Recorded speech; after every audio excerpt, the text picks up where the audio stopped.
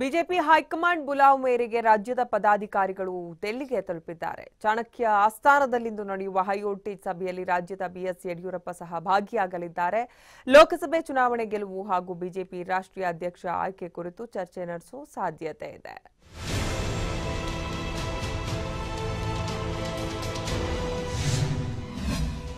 ರಾಜ್ಯ ಪದಾಧಿಕಾರಿಗಳಿಗೆ ಹೈಕಮಾಂಡ್ ಬುಲಾವ್. ಆಸ್ಥಾನದಲ್ಲಿ high voltage meeting S ಇಂದಿನಿಂದ ಎರಡು ದಿನಗಳ ಕಾಲ ನವದೆಹಲಿಯಲ್ಲಿ ರಾಜ್ಯ ಪದಾಧಿಕಾರಿಗಳ ಜೊತೆ ಬಿಜೆಪಿ ರಾಷ್ಟ್ರೀಯ ಅಧ್ಯಕ್ಷ ಅಮಿತ್ ಶಾ ಮಹತ್ವದ ಸಭೆ ನಡೆಸಲಿದ್ದಾರೆ. ಹೀಗಾಗಿ ರಾಜ್ಯ ಘಟಕಗಳ ಅಧ್ಯಕ್ಷರು, ಉಪಾಧ್ಯಕ್ಷರು, ಪ್ರಧಾನ ಕಾರ್ಯದರ್ಶಿಗಳಿಗೆ ಅಮಿತ್ ಶಾ ಬುಲಾವ್ ನೀಡಿದ್ದು, ಲೋಕಸಭಾ ಚುನಾವಣೆ ಗೆಲುವು.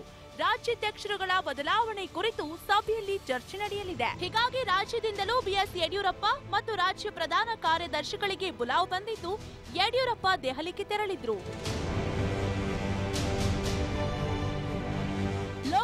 ಚುನಾವಣೆ ಕುರಿತು ಸಮಗ್ರ ವರದಿ ಕೇಳಿರುವ ಅಮಿತ್ ಶಾ, ಪಕ್ಷಕ್ಕಾಗಿ ಪ್ರಾಮಾಣಿಕವಾಗಿ ದುಡಿದ ಮುಖಂಡರು ಹಾಗೂ ಕಾರ್ಯಕರ್ತರ ಬಗ್ಗೆಯೂ ವರದಿ ಕೇಳಿದ್ದಾರೆ. ಅದರಂತೆ ಶಾ ಕೇಳಿರುವ ವರದಿಗಳನ್ನ ತಮ್ಮೊಂದಿಗೆ ಕೊಂಡೊಯ್ದಿರುವ ಯಡಿಯೂರಪ್ಪ ಅಮಿತ್ ಶಾಗೆ ಸಲ್ಲಿಕೆ ಮಾಡಿದ್ದಾರೆ.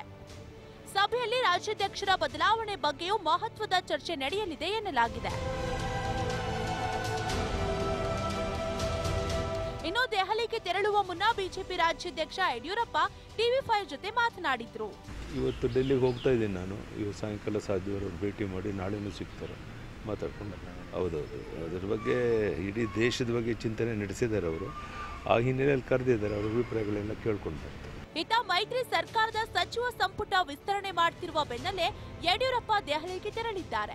ಸದ್ಯಕ್ಕೆ ಆಪರೇಷನ್ ಕಮಲ ಬೇಡ ಎಂದಿದ್ದ ವರಿಷ್ಠರು, ಬಿಎಸ್ವೈಗೆ ಈ ಬಾರಿ ಮತ್ಯಾವ ಸಲಹೆ ಸೂಚನೆ ಕೊಡಲಿದ್ದಾರೆ ನೋಡಬೇಕು.